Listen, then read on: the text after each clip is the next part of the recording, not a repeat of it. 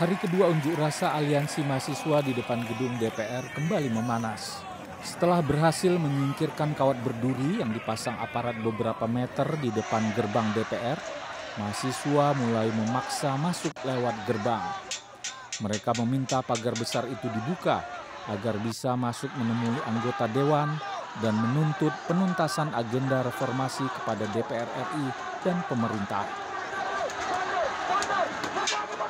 Meski pihak kepolisian sudah mewanti-wanti unjuk rasa dibatasi sampai jam 6 sore, namun hingga kini belum ada tanda-tanda pengunjuk rasa meninggalkan lokasi. Malah jumlahnya makin banyak. Masih ada rombongan mahasiswa dari daerah lain yang berdatangan mengepung gedung DPR.